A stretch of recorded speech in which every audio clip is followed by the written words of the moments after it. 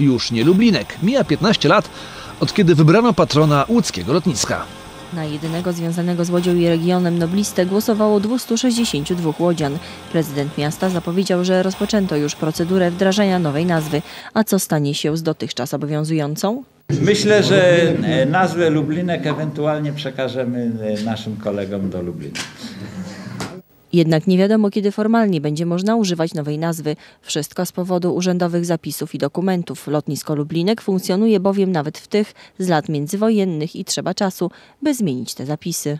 W budżecie na przyszły rok mamy zapisane pieniądze dla portu Łódź-Lublinek.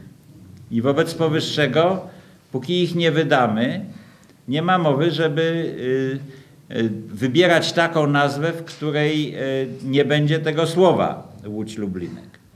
W plebiscycie na patrona lotniska łodzianie oddali w sumie 797 głosów. Oprócz Rejmonta typowano jeszcze Katarzynę Kobro, Grzegorza Palkę, Artura Rubinsteina, Juliana Tuwima i lotników Żwirka i Wigurę. To pierwsze takie wydarzenie w Urzędzie Miasta Łodzi, imieniny prezydent miasta. Dostać się do gabinetu Hanny Zdanowskiej nie było łatwo, bo głowa miasta miała spotkania służbowe zaplanowane na cały dzień. Ale jak tylko zdarzała się choć króciutka przerwa, napływali kolejni chętni, by złożyć życzenia. Dzisiaj radni mają dużo pracy, więc e, bardzo krótkie spotkanie z panią prezydent. Życzyliśmy jej przede wszystkim e, wytrwałości, sukcesów, powodzenia e, w nadchodzącym roku.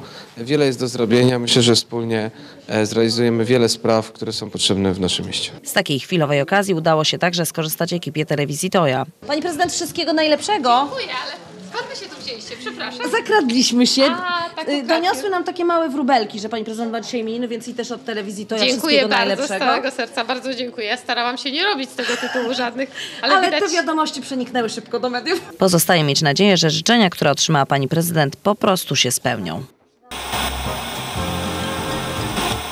Budują wiadukt na ulicy Niciernianej. Nie obyło się bez wycinki drzew. Budowa bezkolizyjnego skrzyżowania ulicy Niciarnianej z torowiskiem prowadzącym do powstającego dworca Łódź Fabryczna ruszyła w połowie maja.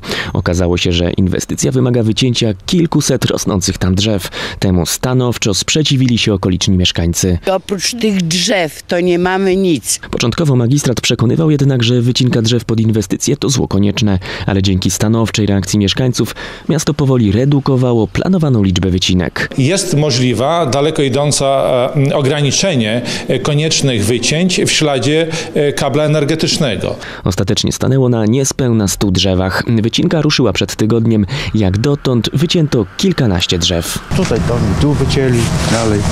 Sporo tych drzew wyciętych. No sporo jest. Jeszcze do wycięcia. Następne mają być sukcesywnie usuwane w kolejnych miesiącach. Tu była ta wycinka drzewa, ale tutaj lokatorzy uzgodnili, które drzewa są do wycięcia, które nie. Czyli nie jest tak, że wycinają więcej Nie, niż... nie, nie, nie. Te drzewa, które zostały wycięte, e, one są spowodowane tym, że należy wybudować e, ściany szczelinowe tego przejazdu podziemnego pod torami kolejowymi. Zgodnie z harmonogramem budowa dwupoziomowego skrzyżowania na Niciarnianej powinna się zakończyć latem tego roku.